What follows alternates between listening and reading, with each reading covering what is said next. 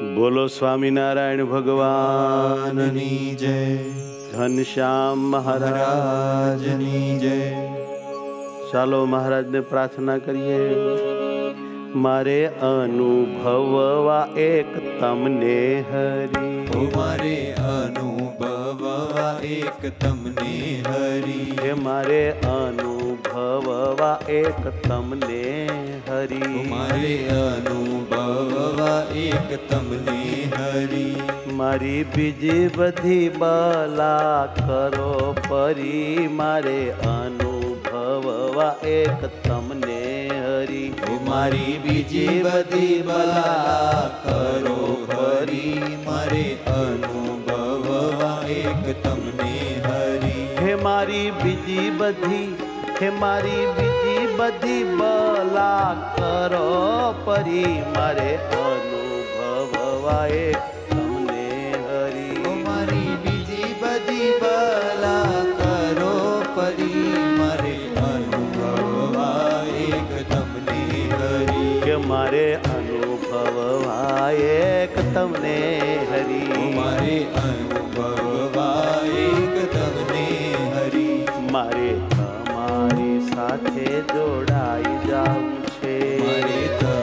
વાલા.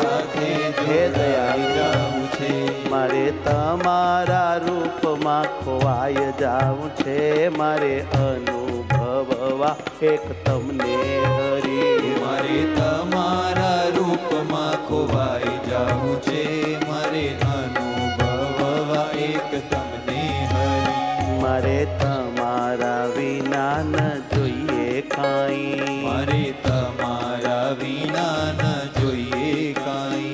રહો અનુભવ એક તમારો સદાય મારે અનુભવવા એક તમને રહો અનુભવ એક તમારો સદાય મારે અનુભવવા એક તમને હરી રહો અનુભવ એક તમારો સદાય મારે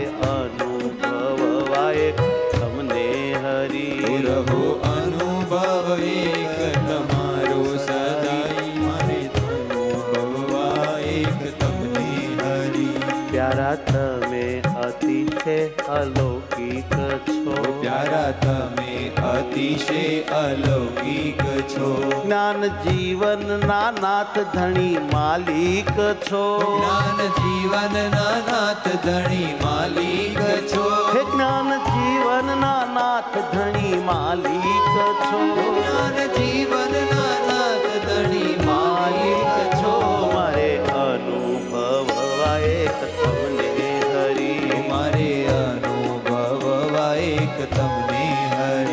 મારી બીજી બધી બલા ખરો પરી મારે અનુભવવા એક તમને હરી મારી બીજી બધી બલા કરો પરી મારે અનુભવવા એક તમને હરી એક તમને હરી એક તમને હરી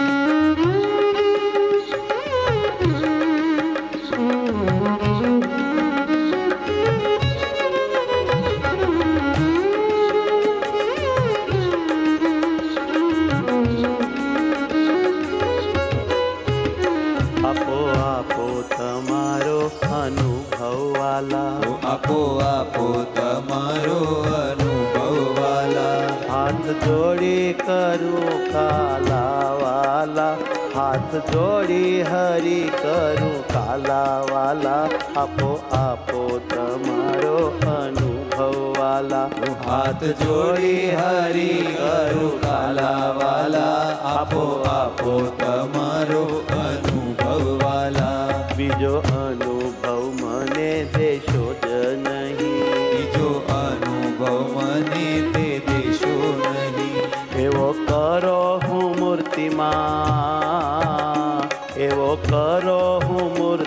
મૂર્તિમાં શકું રહી આપો આપો તમારો અનુભવવાલા. એવો કરો હું મૂર્તિમાં શકું રહી આપો આપો તમારો અનુભવવાલા. સદા તમારી મસ્તીમાં જીવ્યા કરું. સદા તમારી મસ્તી ભક્તિમાં જીવ્યા કરું. એક તમારું ધ્યાન સદા ધર્યા કરું. આપો આપો તમારો અનુભવવાલા. એક તમારું ધ્યાન સદા ધર્યા કરું. આપો આપો તમારો અનુભવવાલા. જ્ઞાન જીવનને સ્મૃતિ તમારી જ દ્યો જ્ઞાન જીવનને સ્મૃતિ તમારી જ દ્યો બીજી બધી સ્મૃતિ હારી તાળી જ દ્યો આપો આપો તમારો અનુભવ વાલા બીજી બધી સ્મૃતિ હરી ટાળી જજો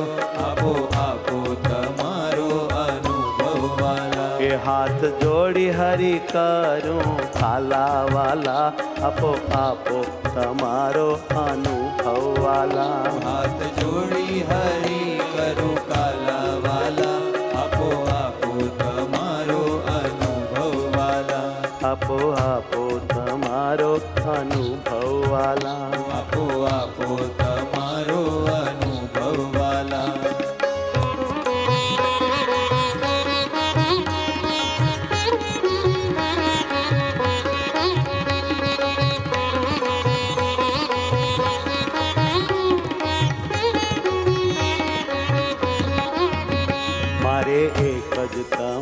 તમારી ઈચ્છા રહો મારે એક જ તમારી ઈચ્છા રહો મારી અન્ય ઈચ્છાઓને હાલ દહો મારે એક જ તમારી ઈચ્છા રહો મારી અન્ય ઈચ્છાઓને હાલ દહો મારે એક જ તમારી ઈચ્છા રહો આગળ પાછળ ને અંદર બહાર સદા આગળ પાછળ ને એક તમને જ ભાળું હું મન મુદા. એક તમને જ ભાળું હું મન મુદા. એક તમને જ ભાળું હું મન મુદા. એક તમને જ ભાળું હું મન મુદા. તમ વિના બીજો ઘાત થાય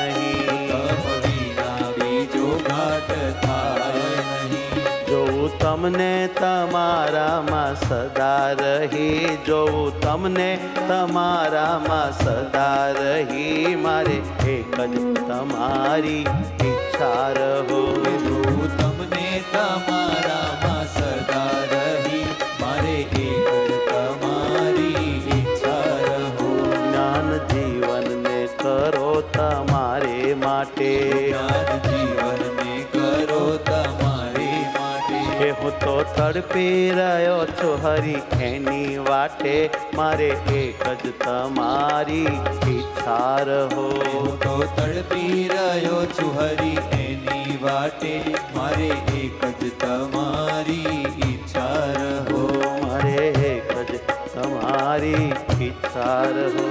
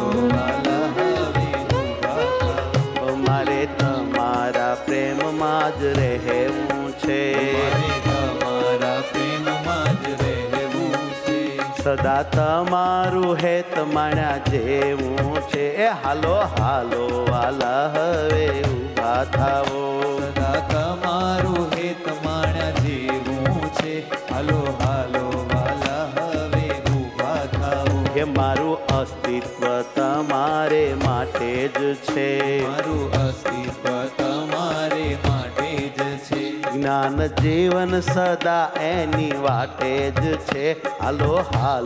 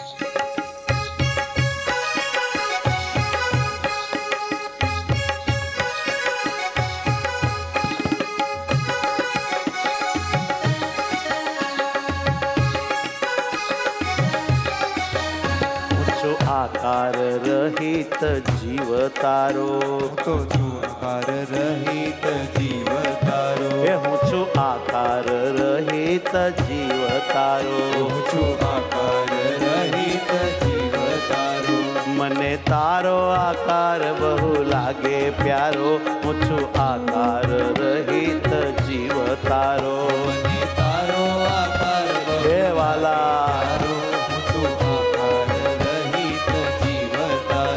મારે તારા આકારની જરૂર જ છે. મારે તારા આકારની છે હે મારે તારા આકારની જરૂર જ છે મારે તારા આકારની જરૂર જ છે બીજા માઇક આકાર હુંથી દૂર જ છે હું છું આકાર રહિત જીવ તારો બીજા માઇક આકાર હુંથી દૂર જ છે હું છું આકાર રહિત જીવ તારો હે બીજા માઇક આકાર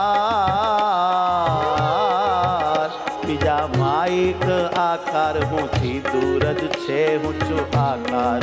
રહિત જીવ તારો કે બીજા માઇક આકાર હુંથી દૂર જ છે હું છું આકાર. રહિત જીવ તારો માં એક જ તમારો આકાર છે. માં એક જ તમારો આકાર છે. હુમાં એક જ તમારો આકાર છે. માં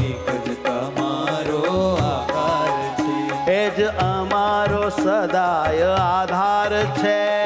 અમારો સદાય આધાર છે. એ જ અમારો સદાય આધાર છે. હું આકાર રહિત જીવ તારો છું આકાર રહિત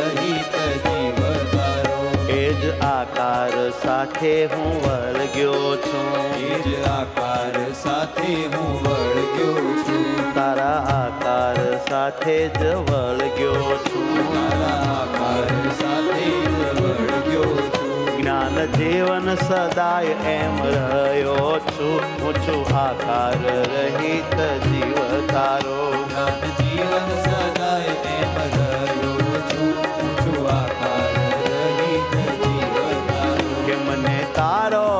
આકાર બહુ લાગે પ્યારો હું છું આકાર રહિત જીવ તારો. તારો આકાર બહુ લાગે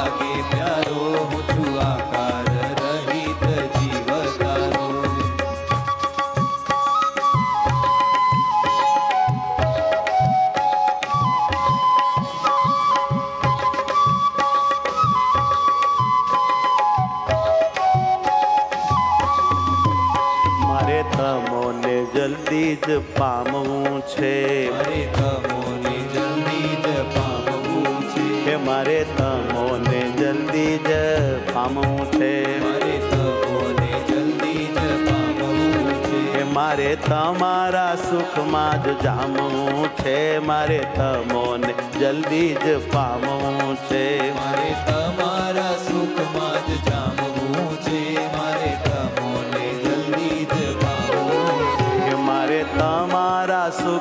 સુખમાં જ જામવું છે મારે જલ્દી તમોને જ પામવું છે. મારે તમારા સુખમાં જ જામવું છે મારે તમોને જલ્દી જ પામવું છે. નાથ મદદ કરો મને મદદ કરો. નાથ મદદ કરો મને મદદ કરો. હે નાથ મદદ કરો રે મને સહાય કરો. નાથ મદદ કરો રે મને મારા તમો વિનાના વિચારો હરો મારે તમોને જલ્દી જ પામવું છે. મારા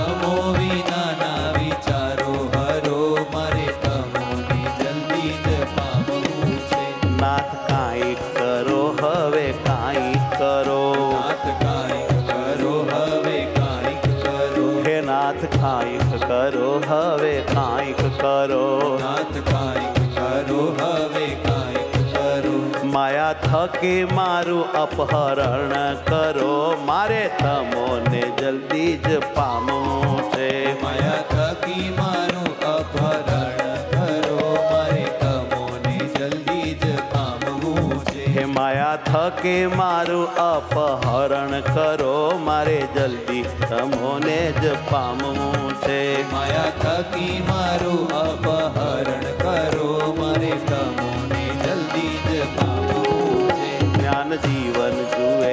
સદા વાતલડી જ્ઞાન જીવન જુએ સદા વાટલડી જ્ઞાન જીવન જુએ સદા વાતલડી જ્ઞાન જીવન જુએ સદા વાટલડી મારે કેદી આવશે નાથ દેવે ઘડે. કેદી આવશે નાથ એવી ઘડી. હે મારે કેદી આવશે નાથ એવી ઘડી. મારે મારે કેદી આવશે નાથ એવી ઘડી મારે કેદી આવશે નાથ એવી ઘડી મારે તમોને જલ્દી જ પામવું છે મારે તમોને જલ્દી જ પામવું છે હે મારે તમોને જલ્દી જ પામવું છે મારે તમોને જલ્દી જ પામવું કે છે મારે તમારા સુખમાં જ જામવું છે મારે તમોને જલ્દી જ પામવું છે મારે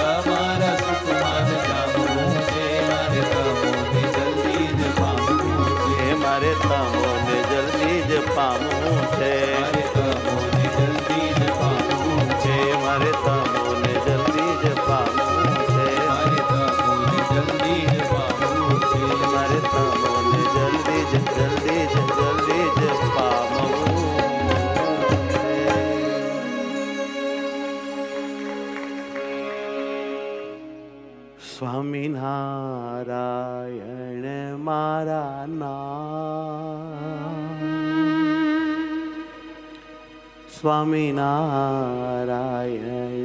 नारायण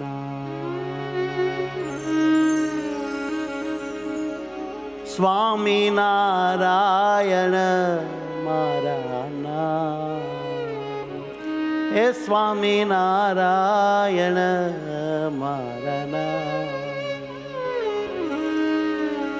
स्वामी स्वामिनारायण म स्वामी नारायण महाराज।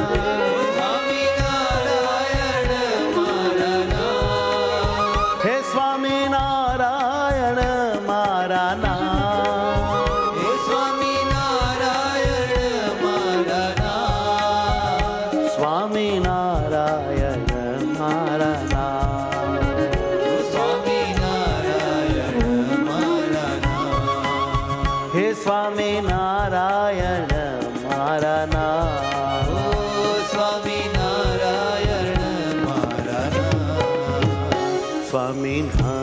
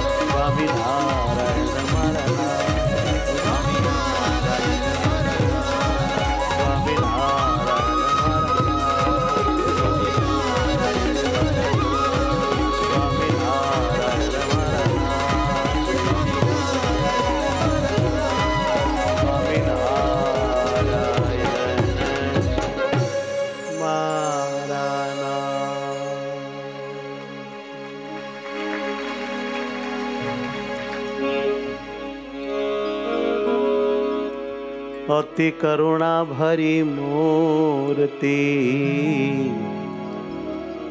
વાલી લાગે છે અપાર. જાણે જોયા જ કરીએ, વધુ વધુ ઉપજે પ્યાર. પ્રાણ આધાર આ મૂર્તિ અમને સદાય દેખાય. એવી અમ પર કૃપા કરો, રાજી થઈ હરિરાય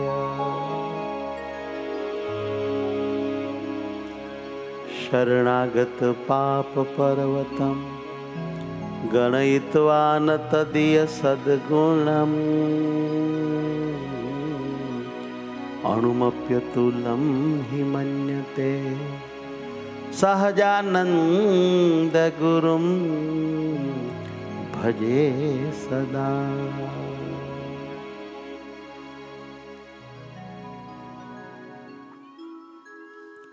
વિક્રમ સંવત બે હજાર એંશી ચૈત્ર સુદ તીજ, તારીખ અગિયાર ચાર બે હજાર ચોવીસ ગુરુવાર. શ્રી સ્વામિનારાયણ મંદિર કુંડળધામ દ્વારા ચાલતી સવારની કથામાં સ્ટેજ કુટુરે વાલા વાલા મહારાજની સાનિધ્યે શિક્ષાપત્રી ભાષ્યની કથામાં આજે આપણે કથા ભાગ તોતેરમાં આવ્યા છે થોડું કથા રિવિઝન કરશું. આ મુકેશ ડોડિયા અમદાવાદ. બે બાળકો લઈને બેઠા છો. શું કહેવા માંગો છો? બીજું બધું પડે બહેનો એકત્ર કોતાન હરીને રાજી કરવા છે.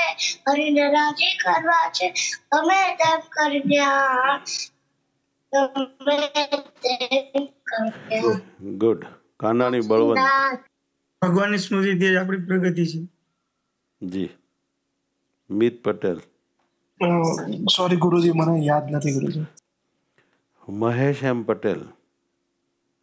ભગવાનની સ્મૃતિ એ ગતિ પ્રગતિ પ્રાપ્તિ અને કલ્યાણ છે અને ભગવાનની વિસ્મૃતિ એ અધોગતિ નુકસાન અને કઠનાઈ છે.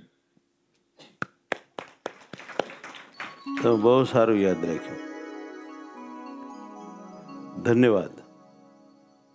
દેવાંગ પટેલ. મુંબઈ. ભગવાનની એમના વિનાની ભક્તિ થતી નથી. એના વિના ભગવાનમાં હેત થતું નથી. એના વિના અખંડ વૃત્તિ રહેતી નથી અને ભગવાનની પ્રાપ્તિ થતી નથી. શેના વિના? મહિમા વિના. મહિમા વિના. બહુ સરસ વાત કાલે મહિમા સમજવાની ટેકનિક બહુ સરસ આવી હતી ઘણી બધી સારી જોરદાર વાતો આવી હતી. સંતોએ આના ઉપર બહુ ઊંડું ઊંડું બધું લખેલું કે ભાઈ દસમ સ્કંદ અને પંચમ સ્કંદ પરમાત્માના મહિમાને જાણવા માટે વિશેષ જાણવો એમ શા માટે કહ્યું? વેદમાંથી કેમ ભગવાનને ના આપણે જાણી શકીએ? આ બે સ્કંધો શા માટે લેવા? એ વિશે બહુ સારી વાતો હતી. મનોજ રાદડિયા નવસારી. વેદોમાં છે ને આપણે સૌશલ્ય ગુણનો વર્ણન નથી થયું.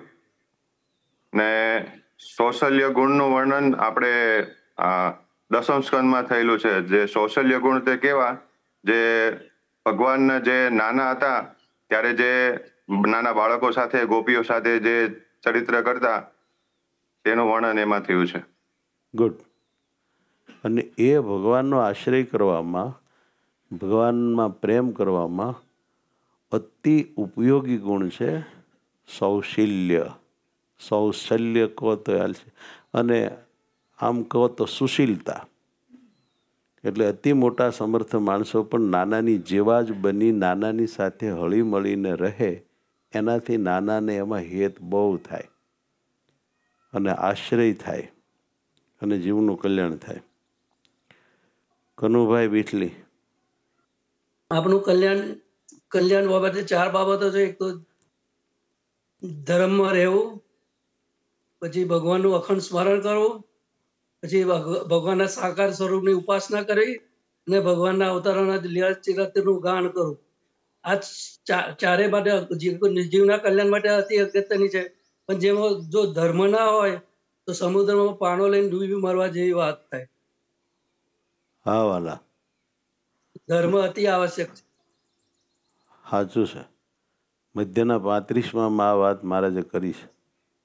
ચારેની ખાંડનું વચનાવત કહેવાય છે. દીપ લીંબાજી કાલ સવારની કથામાં આપણે વાત કરી હતી કે સૌશલ્યતાનો ગુણ મહારાજમાં હતો. એટલે સૌશલ્યતાનો ગુણ એટલે એમાં એવી વાત કરી હતી કે જે બહુ મોટા હોય તે બાળક જોડે બાળક જેવા થઈને રહે છે. એને સૌશલ્યતાનો ગુણ કહેવાય આમ ગુરુજી વાત કરી ઓકે ચિરાગ જે ન્યૂજર્સી રાજીપો જેવી વસ્તુ બ્રહ્માંડે નહીં કાય.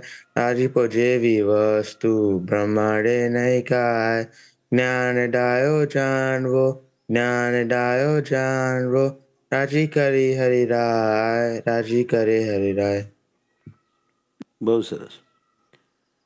કલે મહાત્મ્ય શબ્દની વ્યાખ્યા ઊંડાણમાંથી આપણને સતાનંદ સ્વામીએ બતાવી હતી મહાત્મ્ય જે શબ્દ છે, એમાં મૂળ બે શબ્દ છે. મહાન અને આત્મા. મહાન, આત્મા. પછી એનો સમાસ આપ્યો હતો કે મહાન આત્મા યસ્ય અસૌ ઇતિ મહાત્મા. મહાન આત્મા છે જેનો એને મહાત્મા કહેવાય. પણ અહીંયા મહાનનો અર્થ કર્યો સર્વોત્કૃષ્ટ. અને આત્માનો અર્થ કર્યો સ્વરૂપ. એટલે સર્વોત્કૃષ્ટ સ્વરૂપ યસ્ય અસૌ મહાત્મા, મહાત્માન ભાવ મહાત્મ્યમ એ સર્વોત્કૃષ્ટ જેનું સ્વરૂપ છે એ મહાત્મા. એનો ભાવ મહાત્મ્ય. આપણે જો મહાત્મ્યનું આપણી રીતે સમજવું હોય તો મહિમાપણું, મોટાઈપણું ઉત્કૃષ્ટપણું. ભગવાનનું ઉત્કૃષ્ટપણું સમજવું, ભગવાનનું મોટાઈપણું સમજવું, એવું થાય. પણું. મહિમાનું મહાત્મ્ય. અને મહાત્મ્યના જે થોડા પ્રકારો કહ્યા હતા, એ વેરી વેરી નાઇસ હતા. કોઈને એ બહુ ધ્યાનમાં આવ્યા નહીં. અક્ષર પરત્વે ન કે ભગવાન અક્ષરથી પર છે, ઓહો એમ ઉત્કૃષ્ટપણું એમાંથી જણાય, મોટાઈપણું જણાય. અક્ષર કાલ માયાદી નિયામકત્વે ન કે ભગવાન તો અક્ષર કાળ માયાદીના નિયામક છે, કંટ્રોલર છે. ઓહો આવા ભગવાન. સ્વતંત્રત્વે ન પરમાત્મા તો સર્વે રીતે સ્વતંત્ર છે. ઓહો, હો. સ્વતંત્ર મૂર્તિ. આના ઉપર કોઈ બીજો નથી. એમને કહેનાર કે દબાવનાર. સકલ ઐશ્વર્ય સંપન્નત્વે ન કે સકલ ઐશ્વર્ય સંપન્ન છે આ મૂર્તિ. આ બેઠા એ ભગવાન સ્વામિનારાયણ. એવો જે વિચાર કરવો વિધવિધ પ્રકારે. એનાથી ભગવાનનો મહિમા બહુ વધે. આ પકડવા જેવો પોઈન્ટ હતો.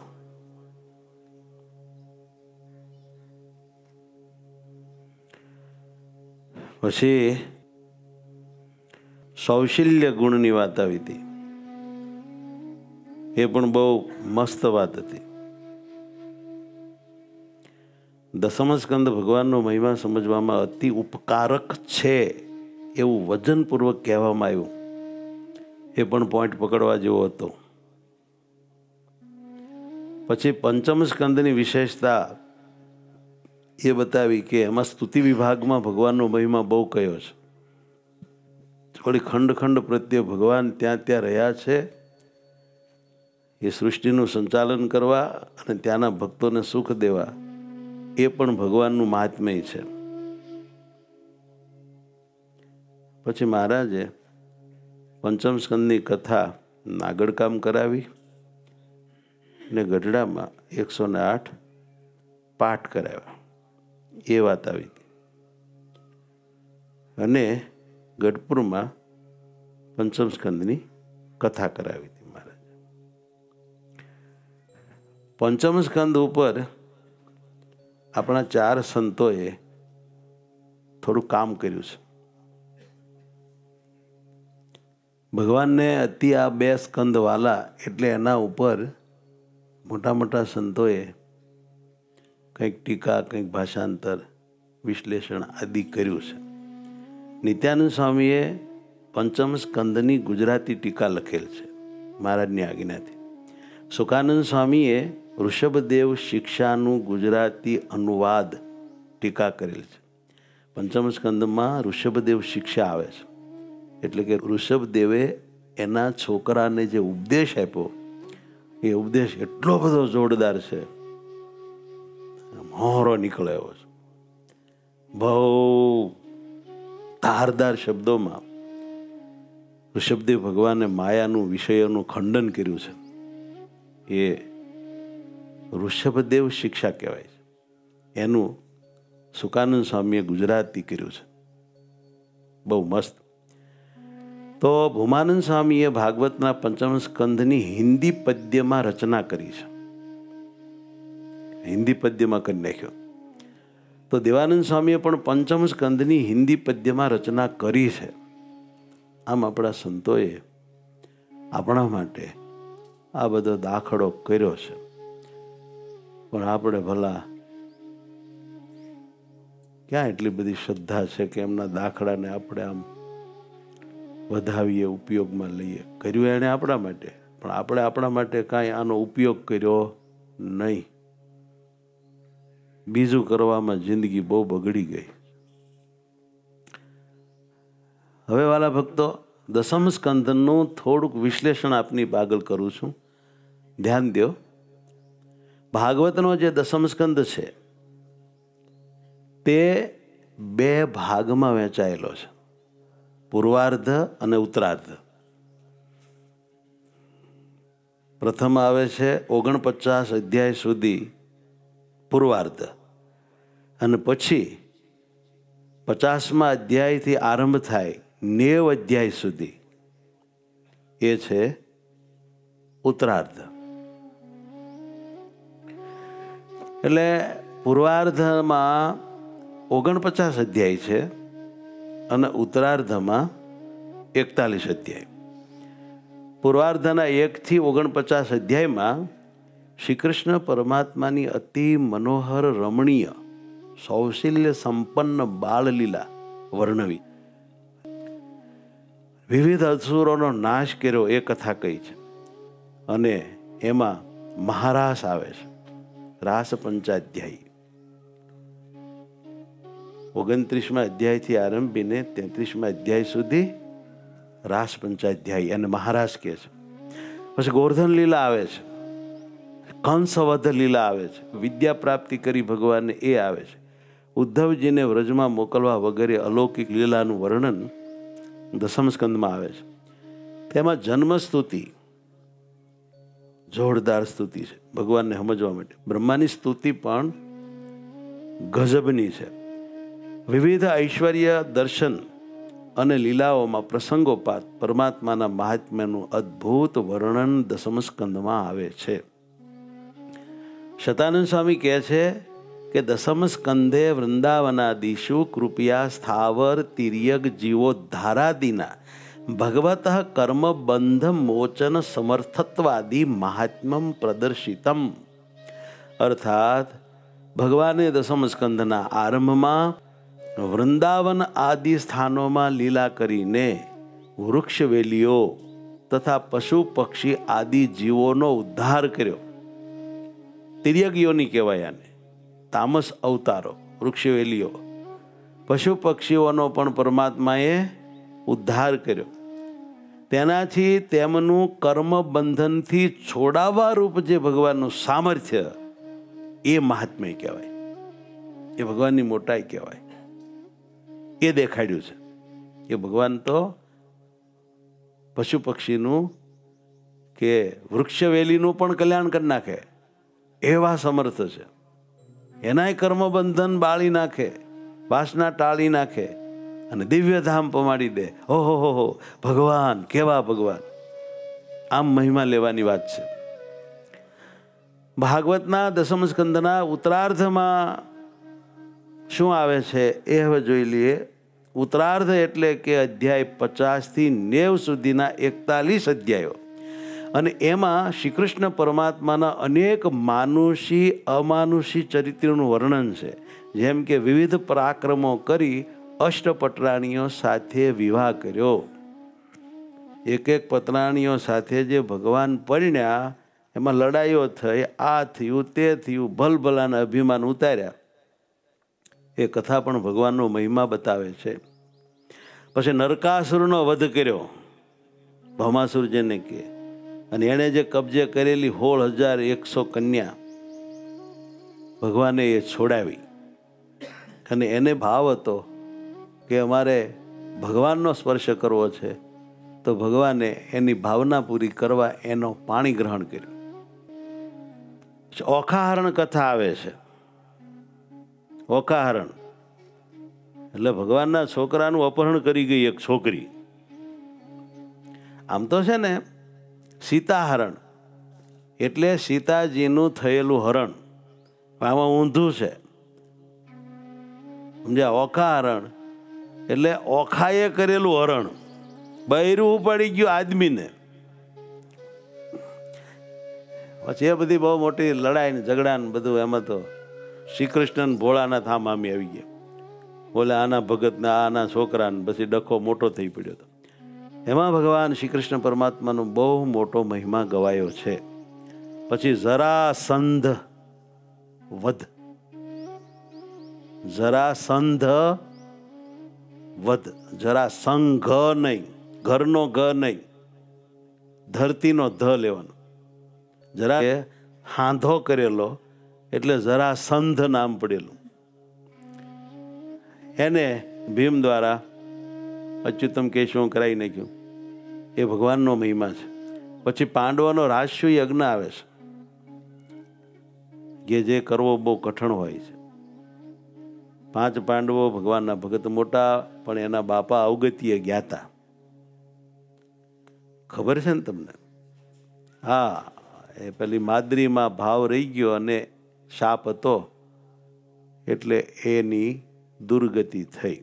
પછી એના ઉદ્ધાર માટે છોકરાઓએ આવો મોટો યજ્ઞ કર્યો ને બાપનો ઉદ્ધાર કર્યો નોળિયો, હોનાનો થયો ને શંખ ભાગ્યો ને. બધી કથા ઘણી છે. પછી શિશુપાલનો ઉદ્ધાર. આમાં કોઈને મારી નાખ્યા ભગવાન એવું નહીં આવે. ઉદ્ધાર કર્યો આવે. કેમ જે ભગવાન કરે એને ઉદ્ધાર કહેવાય.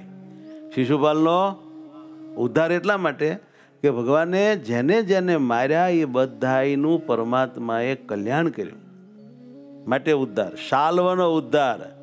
શાલ્વ બહુ માથાનો દુખાવો હતો. તે દ્વારિકા પર ધસી આવેલો. અને આમ અનેક રૂપ લે આકાશમાં યોજાય ને હેઠો આવે ને ખબર ન પડે એવો માથા કૂટ્યો હતો. પછી સુદામા મિલન. સુદામા એ પરમાત્માના વિદ્યાર્થી જીવનના મિત્ર. ત્યાં ઉજ્જૈન ખરું ને જ્યાં મહાકાળ મહાદેવ બિરાજે છે. ત્યાં સાંદીપની ઋષિનો આશ્રમ હતો ક્ષિપ્રા નદીની કિનારે. ત્યાં ભણવા ગયા હતા ભગવાન ને બલરામ બે ભાઈ. તે ભણતા, એક બામણ ભેળા ભણતા ભાઈબંધ થયેલા, એ સુદામા. એ સુદામા પછી બિચારા ગરીબ બહુ, તે દ્વારિકા મળવા આવ્યાની કથા બહુ બધી હારી છે. પછી કુરુક્ષેત્રમાં ગોપીઓનું મિલન વગેરે. પછી ભગવાન તો ગોકુળને વૃંદાવન છોડી મથુરા ગયા ને પછી મથુરાના રાજા થયા છો ને ગોપીઓને ભૂલી ગયા છો ને ગાયોને સંભાળી જાઓ રે ને એવું બધું આવે છે. એ ભગવાને કહેલું, જ્યારે વૃંદાવનથી નીકળ્યા ત્યારે એકવાર આપણે ભેગા થાવું પછી વર્ષોની વાટ જોયા પછી કુરુક્ષેત્રમાં એકવાર બધા ગ્રહણ કરવા ગયેલા.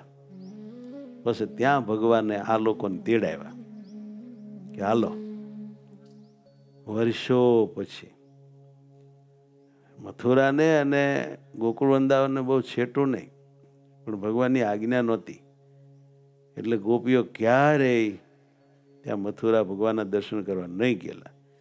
પછી તો ભગવાન મથુરા છોડીને દ્વારિકા ગયા. પછી છેટું થઈ ગયું. પછી બધી લડાઈને ને આ બધું થતા છેલ્લે પછી ગ્રહણ આવતું હતું બધા ત્યાં ગ્રહણ કરવા માટે કુરુક્ષેત્ર ગયા હતા ત્યાં ગોપીઓ તેથી થાવ નાની હતી ને પછી તો આ હાવ ગઢિયું થઈ ગઈ.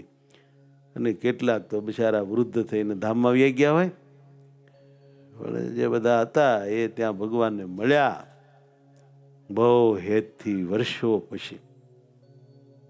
એ કથા આવે દસમ સ્કંદના આ બધા ચરિત્રોના માધ્યમે ભગવાનના ભક્તોને પરમાત્માનું અસાધારણ મહાત્મ્ય સમજવામાં ખૂબ લાભ થતો હોય છે આનાથી.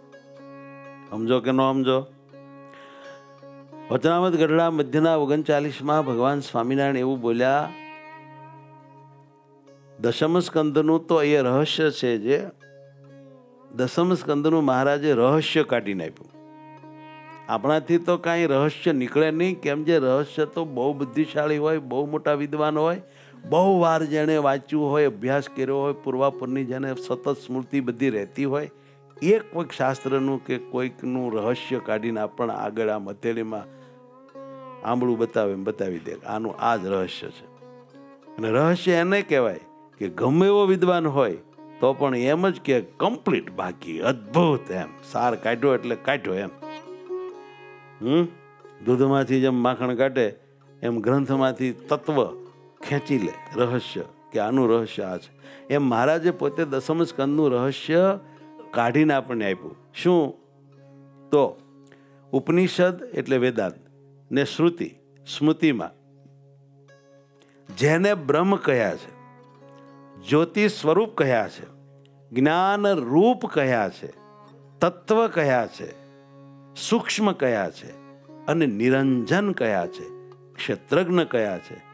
સર્વના કારણ કયા છે? પરબ્રહ્મ કયા છે? પુરુષોત્તમ કયા છે?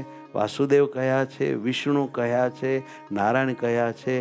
નિર્ગુણ એવે એવે નામે કરીને જેને પરોક્ષપણે કયા છે, તે આ પ્રત્યક્ષ વસુદેવના પુત્ર શ્રી કૃષ્ણ વાસુદેવ છે. બધો મહિમા કહીને આંગળી સીંધી દીધી. વસુદેવના છોકરા સામું આંગળી સીંધી હતી કે જે જે કાંઈ બધું વખાણ વર્ણન આવ્યું એ આ.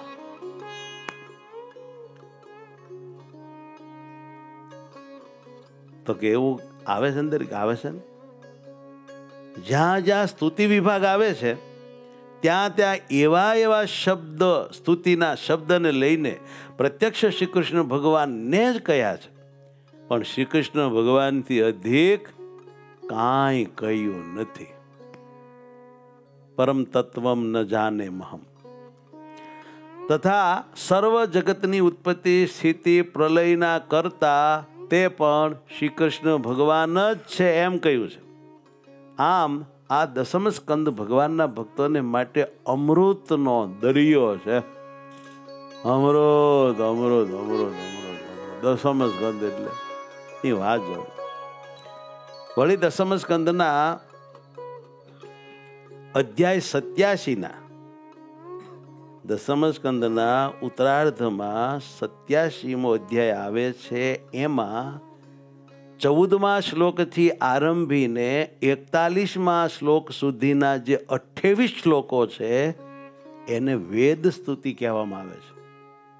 આય બાદ દિમાગ મેં ફરીવાર બોલું. દસમ સ્કંદના ઉત્તરાર્ધમાં સત્યાસીમો જે અધ્યાય છે, એમાં ચૌદમા શ્લોકથી આરંભીને એકતાલીસ શ્લોક સુધીના જે અઠ્યાવીસ શ્લોકો, એને વેદ સ્તુતિ કહેવામાં આવે છે. શું? બહુ મહિમા છે આ વેદ સ્તુતિનો. અપરંપાર. દુનિયા આખીમાં. આ વેદ સ્તુતિ પરમાત્માનો મહિમા સમજવા માટે અત્યંત અત્યંત ઉપયોગી છે. આ વેદ સ્તુતિ એટલે શું? તો પરમાત્મા પોતે બનાવેલા આ જગતને પોતાનામાં લીન કરીને પોતાની શક્તિઓની સાથે આરામ કરતા હતા. સૂઈ ગયા હતા. પછી પ્રલયનો કાળ સમાપ્ત થઈ ગયો. અર્થાત પ્રલય કાળે ભગવાન બધું પોતામાં લીન કરીને પડ્યા હતા.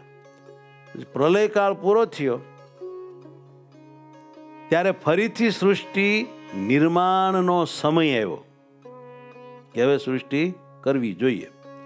ત્યારે જેમ સવારે સેવક એવા બંદીજનો આવીને મહારાજાના પરાક્રમો ગાય, સુયશનું વર્ણન કરે અને સુતેલા મહારાજાને બંદીજનો, સેવકજનો જગાડે, તેમ સ્વયં શ્રુતિઓ યાને કે વેદો પોઢેલા પરમાત્માના મહિમાનું પ્રતિપાદન કરનારા વચનોથી પરમાત્માની સ્તુતિ કરીને પરમાત્માને જગાડે છે.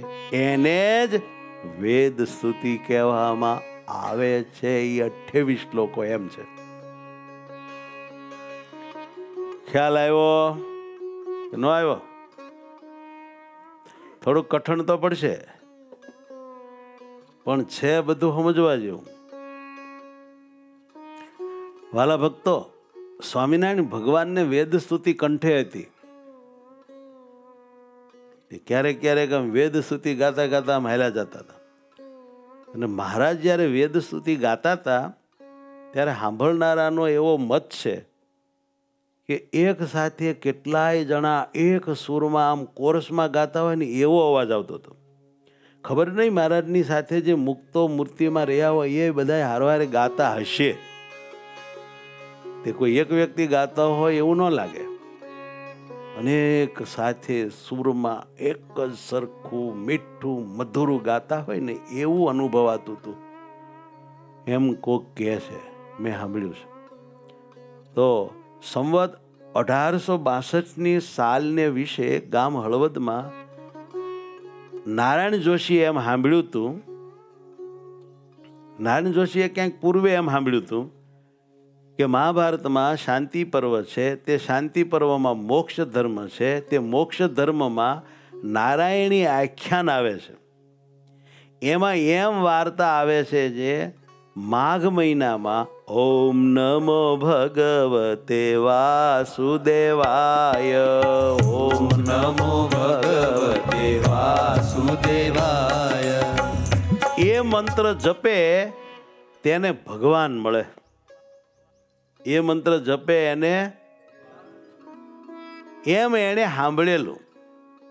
એટલે માઘ મહિનામાં આ હળવદના નારાયણ જોશીએ ઓમ નમો ભગવતે વાસુદેવાય મંત્રનો બહુ જપ કર્યો. બહુ જપ કર્યો. એમ કરતા કરતા અઢારસો ને બાસઠની સાલ આવી. અને માઘ મહિનો હતો. અને વદી એકાદશીનો કમ્પ્લીટલી દિવસ હતો. અને આ નારાયણ જોશી નાવા ગયેલા. અને એમાં આમ એમની નજર ગઈ તો એક તેજસ્વી અદ્ભુત મૂર્તિ વેદ સ્તુતિ બોલતી બોલતી ઊભી પાળે હાલ્યા આવે છે. તળાવે ગયા છે ના ઊભી આમ પાળે હાલે આવે છે મહારાજ. વેદ સ્તુતિ ગાતા ગાતા. તો કેવી રીતે ગાતા હતા? કોકિલ વૃત્તમાં. કયું વૃત્ત? જય જામજિત દોષ ગૃભીત ગુણામ તમસી તદાત્મના સમવરુદ્ધ સમસ્ત ભગ આવો રાગ આવે છે જય જય જય જામજિત દોષ ગૃભીત ગુણામ તમસી તદાત્મના સમસ્ત ભગ પછી અગ જગદોક સામખિલ શાક્ત્યવબોધક તે. ક્વચિદ જયાત્મના ચરતોનુચરેન્નિગમ આ વેદ સ્તુતિનો પહેલો શ્લોક છે. ગાતા ગાતા આવે છે. તે વખતે નારાયણ જોશી તળાવ ઉપર સાયમ સંધ્યા કરવા આવ્યા હતા. અને ત્યાં એમને મહારાજના આવી રીતે સાધુ રૂપે આમ પાળે હાલ્યા આવતા હતા, વેદ સ્તુતિ ગાતા આવતા હતા, એવા અદ્ભુત દર્શન થયા. આપણે આ વાત આટલી જ અહીં લેવાની છે. અને એ કહેવા માટે કે મહારાજ વેદ સ્તુતિ ગાતા હતા. એમને કંઠે હતી બહુ મીઠા સ્વરમાં ગાતા હતા. સંતો પણ વેદ સ્તુતિ ગાતા હતા. વેદ સ્તુતિના થોડાક શ્લોકો કંઠે હોય તો એ બહુ સારી વાત કહેવાય. કોઈને હોય તો એકાદો શ્લોક જો ક્યારેક ગાય તો મજા બહુ આવે. અને બીજો કોઈ શ્લોક કંઠે હોય ન હોય પણ વચનામૃતમાં જે શ્લોક અતિશય પરમાત્માના મહિમાને કહેનારો છે, એ જો કંઠે કર્યો હોય ને તોય સારું ક્યારેક ગવાય. વેદ સ્તુતિ એટલે કોઈ નાની સૂની સામાન્ય વાત થોડી જ વાલા. કેટલો મહિમા છે આ વેદના મુખમાંથી નીકળેલા વચનોનો.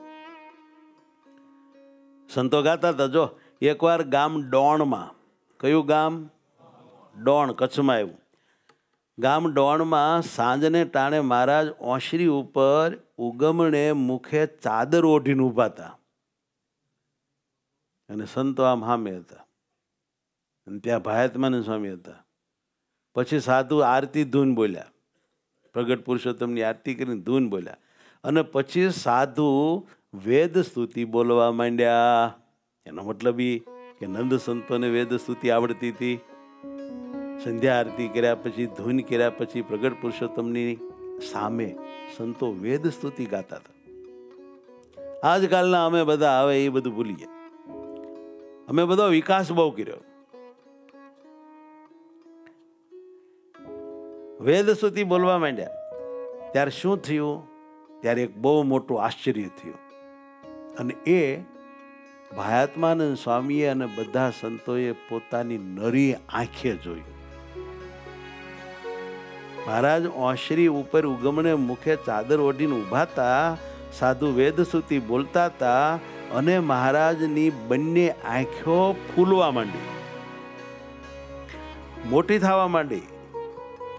પોળી પડવા માંડી. તે જેમ સૂર્ય ઉગે ને કમળ ફૂલે, તેમ નેત્ર કમળ પ્રફુલ્લિત થયા, બહુ ફૂલ્યા બહુ ફૂલ્યા. તો તમને એવો સવાલ થશે કે કેટલાક ફૂલ્યા છે? ભારતમાનંદ સ્વામી કહે છે, તે જોઈને એમ થાય, જાણીએ કે બ્રહ્માંડ હમાઈ જશે શું? એમણે જે એક્ઝામ્પલ આપ્યું જાણીએ કે બ્રહ્માંડ હમાઈ જશે શું? એટલા એવા મહારાજના આમ નેત્રપોળા થયા. એવા અલૌકિક દર્શન થયા હતા આવું થયું તો ડોણમાં. જે થયું એ લખ્યું એમણે, જોયું એ. આ શ્રીજી મહારાજનો મહિમા છે. સમજ્યા? આપણે આંખ્યું પોળી કરો જોઈએ ફૂટી જાય. ભગવાન છે જાણતા હોય એને જાણે. સમજાણું? ભગવાનને જાણવા જોઈએ. ભગવાનનો મહિમા જાણવો જોઈએ. ભગવાનને ઓળખવા જોઈએ. એ જ કરવા જેવું છે. એ જ મનુષ્ય જન્મનું ફળ છે. એ જ વિદ્યાનું ફળ છે. એ જ બુદ્ધિનું ફળ છે. ભગવાન ઓળખી લેવા. ભગવાનનો જેમ છે મહિમા જાણવું. આપણે યાજ્ઞવલ્કે ઋષિની અને ગાર્ગીની જનકના દરબારમાં જે ચર્ચા થઈ, શાસ્ત્રાર્થ થયો, એ આપણે સાંભળ્યો હતો કોઈને યાદ હોય તો. સમજ્યા? યાજ્ઞવલ્ક્યનો બહુ મહિમા વધી ગયો ને, એટલે અમુકને એમ થાય ને. એટલે એણે કીધું કે આનો આટલો બધો મહિમા. એના મામા હતા વૈશંપાયન એને વાત કરી. પછી વૈશંપાયનને એમ થયું કે ભાણાને છે ને, જેવો છે એવો બધાને બતાવવો છે. એટલે જનક રાજાને કહી અને ગોઠવું. આમ તો ખબર પડે નહીં. આમ તો આપણે બધા બેઠા છીએ. શું ખબર પડે કોનામાં શું છે રીડ પડે, રજપૂત છૂપે નહીં, દાતાર છૂપે નહીં, માંગન આવ્યો એમ કાંઈક થાય તારે જે જેવા હોય એવા ઉભર્યા તે શાસ્ત્રાર્થ ગોઠવો. ગોઠવું કેવું? શણગારેલી ગાયો તૈયાર રાખી. અને પછી શું કીધું? કે જે બ્રહ્મવિત હોય, એ ગાયો લઈ જાય. હવે કોણ બ્રહ્મવિદ છે કેમ ખબર પડે? કોઈએ ગાયો હાંકી જવાની હિંમત ન કરી. તો યાજ્ઞવલ્કે એના શિષ્ય પ્રોક્તન કહી ઉપાડ, લઈ જા ગાયું. એને ઉપાડી. તે બધા કહે પણ. તો કે, ભાઈ, મારા ગુરુની આજ્ઞા છે, એટલે હું તો આ ગાયો લઈ જઈશ. મારા ગુરુ બ્રહ્મવિદ છે. પર કે, પણ કાંઈ પરીક્ષા કર્યા વગર તમારા ગુરુ બ્રહ્મવિદ અમે કેમ માની લે? તો પરીક્ષા તમે કરજો, હું જાઉં છું. સમજ્યા? પછી તો બધા વિદ્વાનો ઋષિ મુનિઓ બધા આભા ગાભા થઈ ગયા. હાલો બોલો, આપણે કરો શાસ્ત્રાર્થ. પછી બધાએ પ્રશ્ન પૂછ્યા, પણ યાજ્ઞવલ્કીને કોઈ જીતી ન શક્યું. બધાએ હાવ હાથ જોડી ગયા. પછી એક પરમહંસીની બેઠા ત્યાંના ગાર્ગી, વેદમાં એની ચર્ચા છે. એણે એમ કહ્યું કે જ્યાં સુધી મને નથી જીતી, ત્યાં સુધી ગાયું લઈ ન જવાય. હા એ કે હું બે પ્રશ્ન પૂછીશ. પછી એણે પ્રશ્ન પૂછ્યો કે બધું જેની અંદર રહ્યું છે, જે બધાની બહાર રહ્યા છે ને એવું તે વળી હું છે? યાજ્ઞવેલ કે આકાશ. કે તમે મારા પ્રશ્નનો ઉત્તર સરસ આપ્યો, હું તમને વંદન કરું છું. અને પછી કીધું એ આકાશ જેની અંદર છે ને એ આકાશની જે બહાર છે ને એ આકાશના જે આધાર છે ને, એનાથી જે પર છે ને, એમ છે ને તેમ છે ને, એવું શું છે? ત્યારે આજ્ઞવલ્કે કહ્યું, એ અક્ષર છે. એ પરમાત્મા છે. ઘણું વર્ણન કર્યું. એમાં રસ્વ નથી, લાંબા નથી સાંભળે છે પણ કાન નથી ને આવું બધું શ્રુતિઓમાં જે છે એ બધું ટૂંકમાં ભગવાનનું વર્ણન કર્યું, વેદાંત પ્રમાણે. અને પછી જે એક વાક્ય એ બોલ્યા હતા ને, એ મને માથામાં ગરી ગયું. કોણ બોલ્યા હતા? યાજ્ઞવલ્ક્ય શું બોલ્યા હતા ખબર છે? એવા જે એ અક્ષર, એટલે કે પરમાત્મા, એને જાણ્યા વગર જે મરી જાય છે, એનો જન્મ ફેલ થાય છે તમે સાંભળ્યું છે, મેં જ વાંચ્યું તો. એવા જે એ પરમાત્મા એને જાણ્યા વગર જે મરી જાય છે, મનુષ્યનો જન્મ મળ્યો, ભારત ભૂમિમાં મળ્યો ઉચ્ચ કોમમાં મળ્યો સર્વાંગ સંપૂર્ણ મળ્યો. અરે બુદ્ધિ મળી, ભણવા મળ્યું, સત્સંગ મળ્યો, બધું મળ્યું. તોય જેણે પરમાત્માને જાણ્યા નહીં, ઓળખ્યા નહીં, જેમ છે એમ એનું મહાત્મય આત્મસાત કર્યું નહીં અને મરી ગયો, તો કે એ વ્યક્તિ શોક કરવા લાયક છે. એની વાહે પોકે ને પોકે રોવું જોઈએ, કર હારો. આવો મનુષ્ય દેહ મળ્યો તને કાંઈ કર્યા વગર ટોલી ગયો. ધિક્કાર છે એના મા બાપને. ધિક્કાર છે એની આટલી આયુષને, ધિકાર છે એની બુદ્ધિને. ભગવાન જાણ્યા ને મરી ગયો. આવું યાજ્ઞવલ્કે બોલ્યા.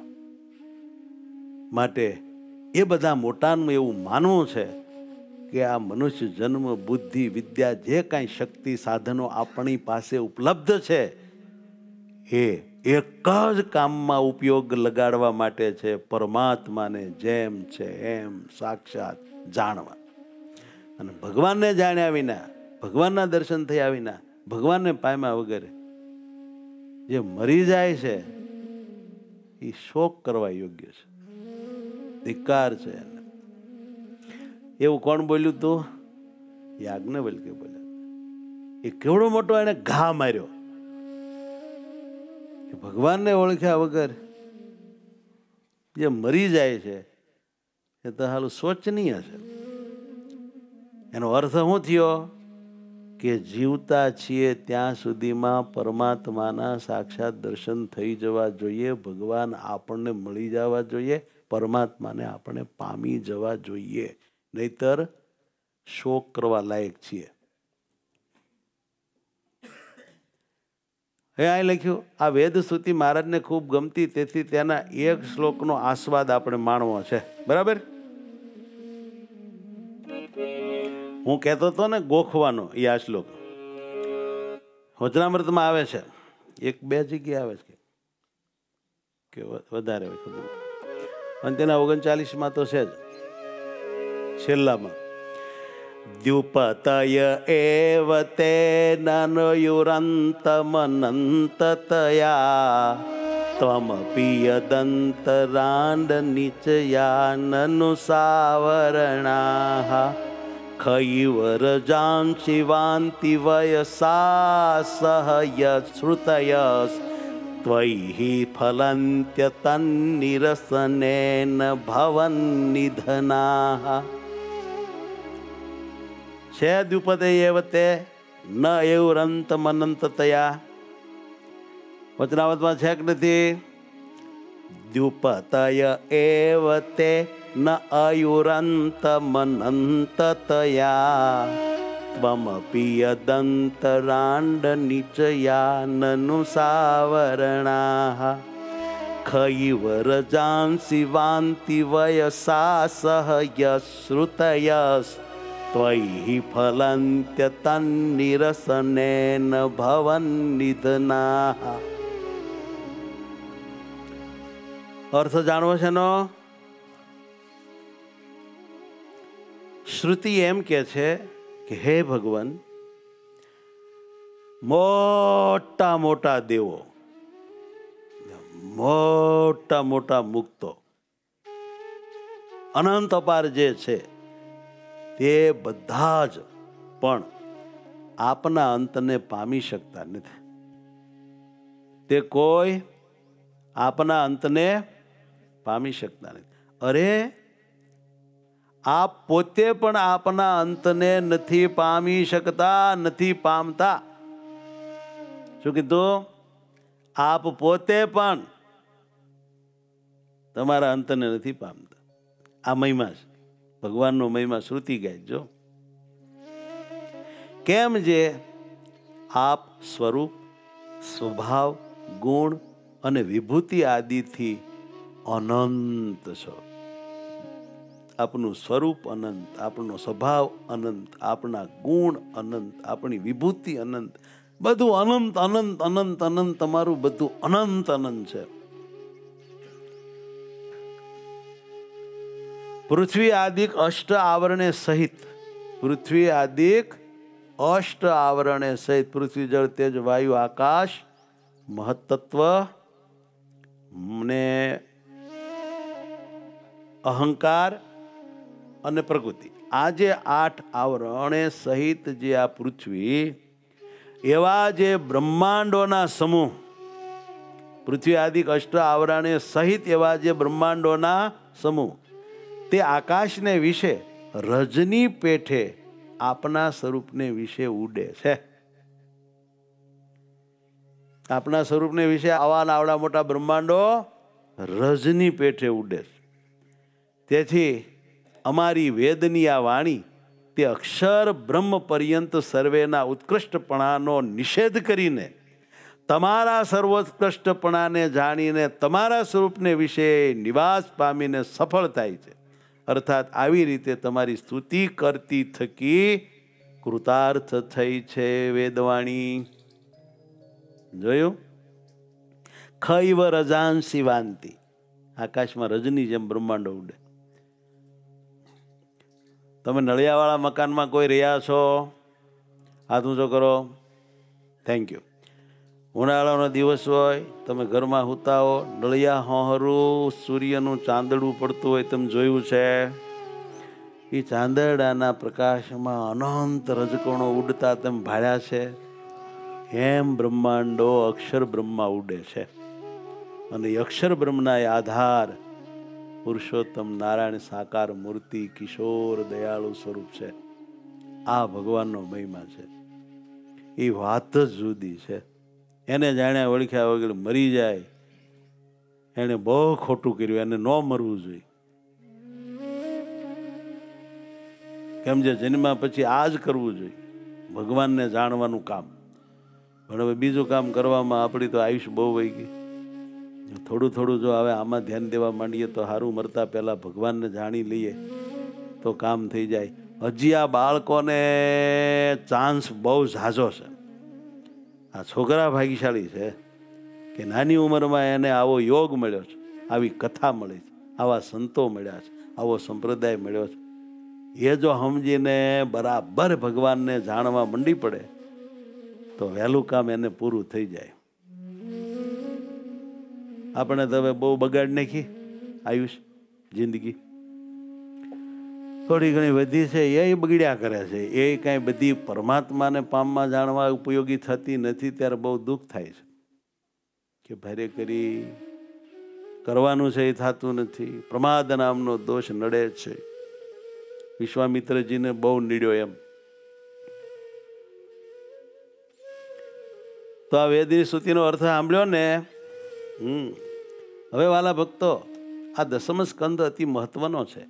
માટે આપણા સંતોએ આ દસમ સ્કંદના સત્યાસીમાં અધ્યાયમાં ચૌદથી એકતાલીસ લોકો સુધીના જે અઠ્યાવીસ લોકો વેદ સ્તુતિ કહેવાય છે, એના ઉપર ખૂબ ટીકાઓ કરી છે. ગોપાલ સ્વામી વેદ સ્તુતિની શ્રુત્યર્થ દીપિકા નામની સંસ્કૃત ટીકા લખી છે. ગઝબ કર્યો સુકમુનિએ વેદ સ્તુતિની ગુજરાતી અનુવાદ ટીકા કરી છે. તો મુક્તાનંદ સ્વામીએ વેદ સ્તુતિ ઉપર હિન્દી પદ્ય કર્યું છે. તો ભૂમાનંદ સ્વામી વેદ સ્તુતિ હિન્દી પદ્યમાં છંદ છપાઈમાં લખ્યો છે. તો દીનાનાથ ભટ્ટે વેદ સ્તુતિ ગુજરાતી અનુવાદ શ્રીધર ટીકાને અનુસારે કર્યો છે. દીનાનાથ ભટ્ટે. આ ઉપરાંત સંપૂર્ણ દસમ સ્કંદ ઉપર ઘણું કામ થયું છે. ગોપાલ સ્વામી શ્રીમદ ભાગવતના દસમ સ્કંદ ઉપર નિગુડાર્થ પ્રકાશક નામની ટીકા લખી છે. નિગુડાર્થ પ્રકાશક. તો સુકાનંદ મુનિએ આપણા સુકાનંદ સ્વામી શ્રીમદ ભાગવત દસમ સ્કંદનું ગુજરાતી અનુવાદ ટીકા કરેલ છે. આવું બધું છે વાલા ભક્તો. એટલે મહારાજે બહુ ઉપયોગી જાણીને સંતો પાસે આ ગ્રંથો ઉપર વિવરણ ટીકા ભાષાંતર વગેરે કરાવ્યું છે. એને આપણે જાણવું જોઈએ કે શું કામ મહારાજે આ બધું કરાવ્યું. કેમ જે એમાં જીવના કલ્યાણ રહેલા છે, એમાંથી ભગવાન ઓળખાય છે, એમાંથી ભગવાનને પામવાનું બળ મળે છે, વિષય વાસના દોષો ત્યાગ થાય છે માટે જરૂરી છે. હવે થોડો વિશેષ વિવેક સાંભળી લેવું. છેલ્લે છેલ્લે. તો ત્રિભુવન દાદા એવું કહે છે કે દસમસ પંચમના મહિમા અને જ્ઞાનની પ્રણાલિકા શ્રીજીએ માન્ય કરી છે. બરાબર? તે જ પ્રણાલિકાથી ભગવાન સ્વામિનારાયણના પ્રકટ પ્રમાણ મહાત્મ્યને કહેનારું અને એના સ્વરૂપનું જ્ઞાન બતાવનારું સંપ્રદાયનું સશાસ્ત્ર એટલે સત્સંગી જીવન. ગઝબની વાત કરી ડોહાએ. આપણા માટે પ્રગટ પુરુષોત્તમને ગાનારું, કહેનારું, મહિમા સમજાનારું શાસ્ત્ર એટલે?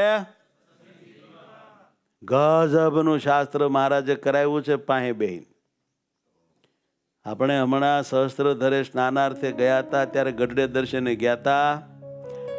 ત્યાંથી આપણે દરબારગઢ હોહરાથી અક્ષરોડીના દર્શને જઈએ, ત્યારે જમણા બાજુ સંકલ્પ બિલ્ડિંગ પાસે એક છત્રી છે, તમે જોઈ છે. ત્યાં એક ઓરડી હતી, ત્યાં સતાનંદ સ્વામીએ બેસીને સત્સંગી જીવન ગ્રંથ લખ્યો છે, ત્યાં સત્સંગી જીવનનો જન્મ થયો છે.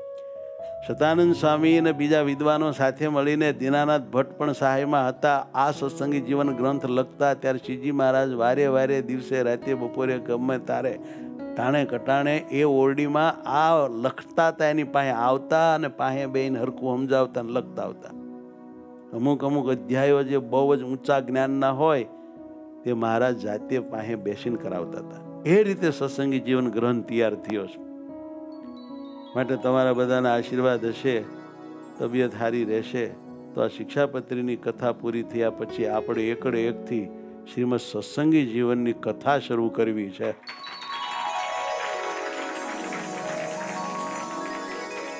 સત્સંગી જીવન ઉપર આપણા સંતોએ ઘણાએ ઘણું ઊંડાણપૂર્વક ખેડાણ કર્યું છે. અર્થાત કે ટીકાઓ લખી છે.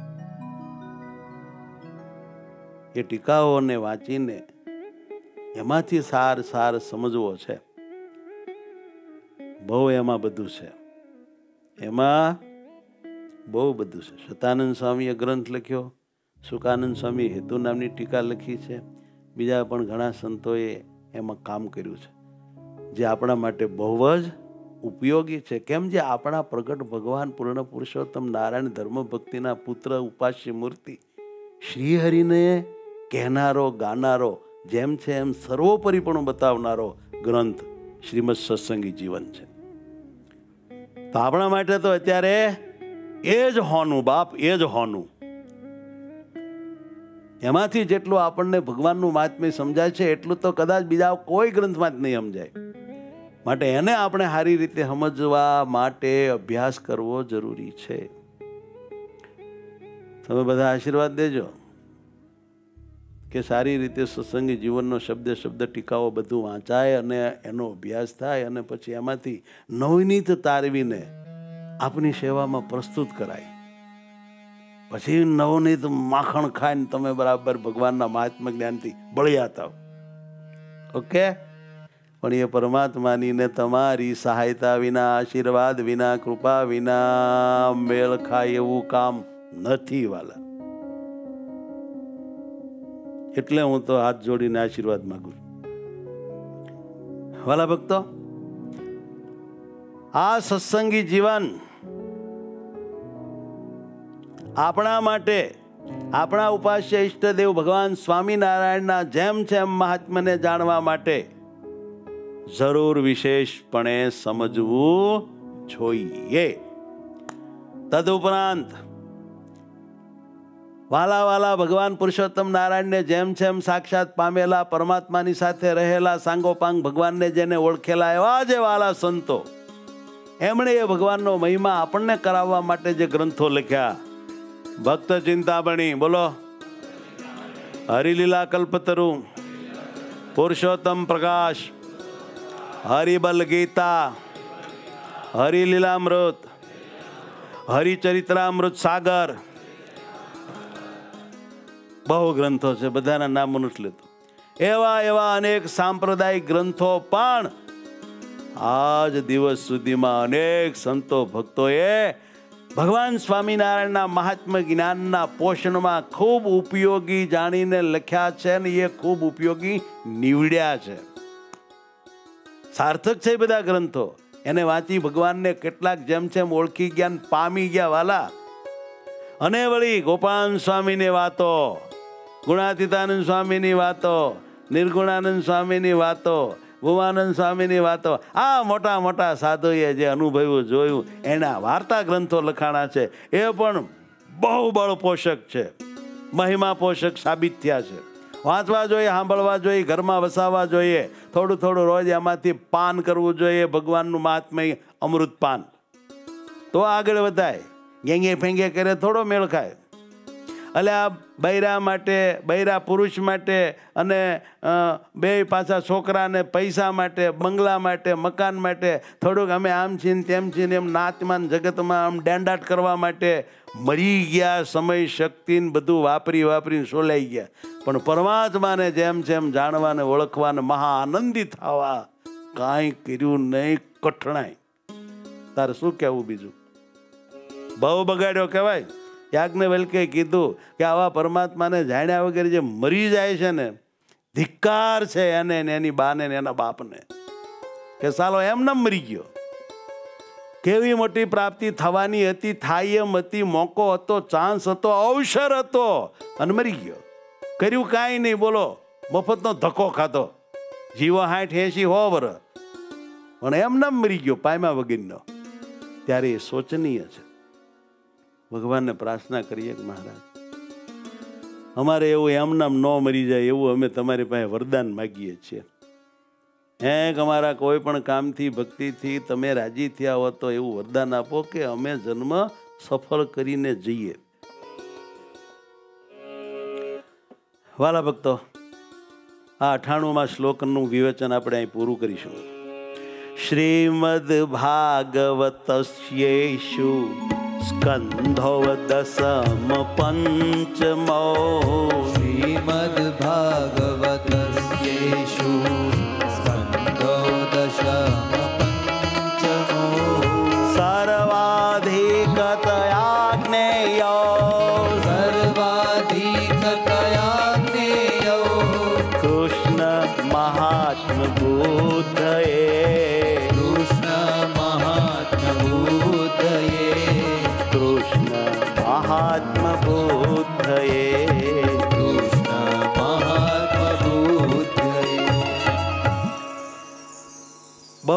મોટી આપણને પ્રાપ્તિ આના જન્મમાં, આના દેહમાં, આની આ દુનિયામાં અનુભવાઈ જાય એમ છે ધામને ધામી બેય. પણ એ આપણો ટાર્ગેટ હોવો જોઈએ. ચાહે ગ્રસ્તાશ્રમમાં હો, બાઈ હો, ભાઈ હો, ત્યાગી હો કે કોઈ મોટા ગાદીપતિ હો, જે હો તે. પણ આ ધ્યેયને નજર સમક્ષ રાખીને જો જીવાય અને આ માર્ગે હલાય તો પરમાત્માની કૃપા થાય અને જેમ છે એમ છતે દેહ પામી જવાય પામી જવાય. પણ બીજા બધા રાગ પૂરા કરવામાં આ કામ બાકી રહી જાય. ત્યાગી નહીં રહી જાય, બાકી તમારે રહી જાય, ગ્રસ્ત નહીં. એમ જે આ વાતનું મહાત્મ્ય સમજી અને આને માટે કેડ બાંધે, કોઈ કેડ બંધાવે, આ માર્ગે પોષણ આપે એવું આપણને મળે, તો એ બહુ મોટા ભાગ્યની વાત કહેવાય. બાકી આ વાત સાંભળતી નથી. કોઈ વજન દઈને આ વાત બોલતું નથી. કેમ જે આજે આપણે બધા ભૌતિક વિકાસ ઉપર વધારે પડતું ધ્યાન આપવા માંડ્યા છીએ. ભૌતિક વિકાસ ઉપર. સમૃદ્ધિ વધારવી, બિલ્ડિંગો વધારવા, સોનાના સિંહાસન, સોનાના મંદિર કરવા જમીનો ખરીદવી. આ તે ફલાણું ઢીકણું દેશ વિદેશમાં એમ તેમ ઓલું પહેલું આ તે. એમાં ખૂબ જ શક્તિ, સમય અને ઉપલબ્ધ માનવ જિંદગી આપણી ખર્ચાઈ રહી છે. અને મોટા મોટાના મત પ્રમાણે તો આ મનુષ્ય જન્મ પરમાત્માને જાણવા, એને પામી જવા અને એને આઈને માણવા માટે મળેલ છે. આ વાત આમ જ છે. કોઈ વિરલાને વાત પકડાય અને આ માર્ગ પકડી અને જો આગળ વધાય તો શાબાશ એને, એના માતા પિતાને એના સાધુ આશ્રમને, એના ગ્રસ્ત આશ્રમને. મારા સહજાનંદ પ્રાણ પ્યારા, મારી આંખ લડીના તારા. તમે રાજી મારી ભૂલો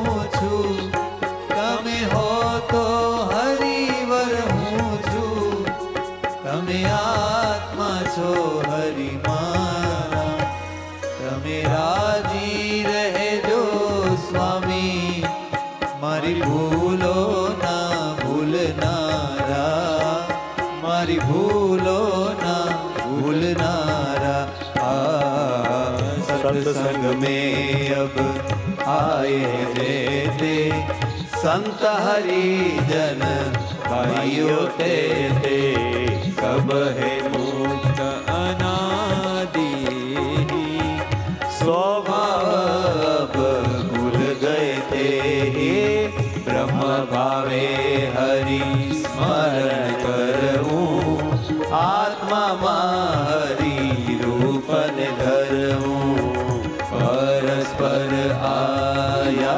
રખાવવું પળય જ્ઞાન આ ભૂલી ન જાઓ.